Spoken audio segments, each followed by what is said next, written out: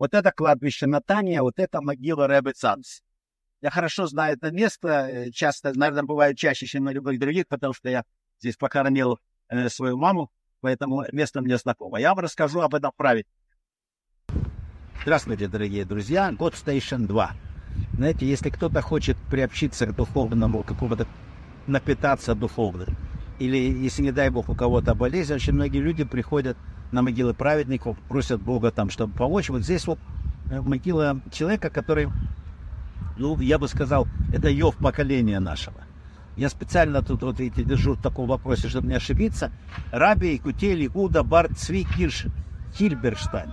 Короче, Адмор Клаузенберга, да, это знаменитый человек, великий человек. Я коротко расскажу его историю, но чтобы все помнили, это правнук Адмора Санс, первого, который основал, который Диртрей Хаим, автор. Э, это автор Сгулы, который раскрывает, почему книга Томер двора является эффективным средством от онкологических заболеваний. Может, и поэтому сюда многие люди больные этим заболеванием приходят и по другим.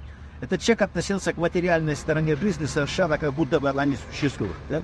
Он э, ел один раз в день, его дом напоминал там забитый там какой старый дом, и э, в конце концов для общины начали отдавать зарплату его жене.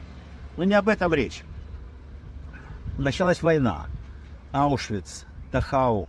11 детей потерял он в лагерях смерти, жену потерял.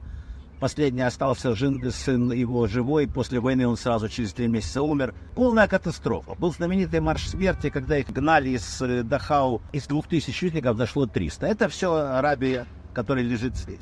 Теперь о том, почему мы приходим на эту могилу, почему мы действительно считаем, что это правильно. Через два дня после освобождения, да, он открыл Ешиву в соседнем лагере. Преподавал он ее без книг в, лагерной одежде. Да? Перед тем, как их освободили, их посадили в э, вагоны, догнали такой станции, вдруг открылись вагоны, и эсэсовцы с оборванными уже всякими наклейками сказали, все, уходите.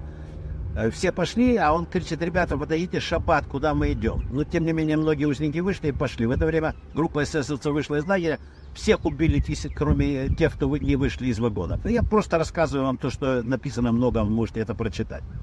Это было не все. После того, как э, он понял, что погибли все, и, и последний сын тоже, любой, любой человек мог сломаться. Но он поехал в Америку, открыл первую Ешиву в Америку в 1946 году. На Святую Землю потом приехал. Здесь он заложил район Натании, э, Натании Цанс. Все знают знаменитую больницу Ланиада. Он пообещал себе, что если выживет в лагере смерти, то обязательно откроет больницу, в которой будут людям помогать и еще с точки зрения иудаизма.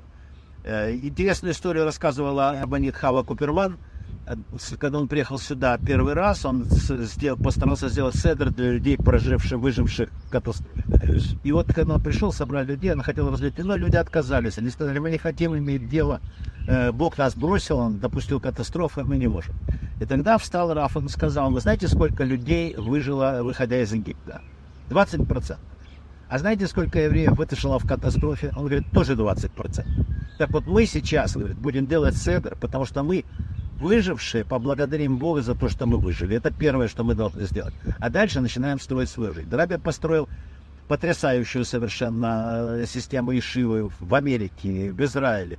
Он оставил после тебя огромную больницу, много последователей. И сюда вот приходят люди на этот Go Здесь, безусловно, осталась э, вот духовная память э, праведника. Сюда приходят очень многие люди, которые, повторяю, у которых есть проблемы.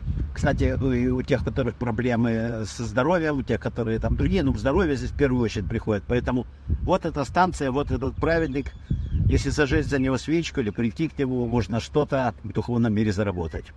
Спасибо.